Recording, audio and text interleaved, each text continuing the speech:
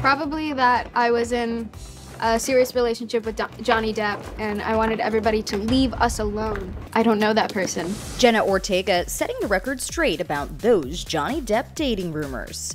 It's so insane to me. Like, I never spoke on that. I never said anything like that. Articles really do just make up their own quotes, but I thought that that was pretty hilarious. These right? people are all insane. The truth coming out in her puppy filled BuzzFeed interview. I was on set with Richard E. Grant, and he came up to me and he just said, Oh, so you and Johnny?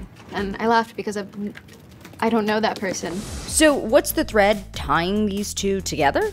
What Jenna did, which was crucial, she was Wednesday. Their frequent collaborator, Tim Burton, who's made multiple projects with Depp going back nearly 35 years. The shorthand itself kind of developed almost almost immediately on uh, Edward Scissorhands. We don't think about how many times. Well, the last time was 2012's Dark Shadows. Meanwhile, Jenna's become Burton's good luck charm. We'll see who gets the last laugh. After directing her in the upcoming Beetlejuice Beetlejuice and on their hit series Wednesday, season two of which is currently in production fascinating. I know, right? Is it just as exciting the second time around, if not more, for you to explore this character a little deeper? I'd say probably more because the first time around it was the pressure of working with Tim for the first time,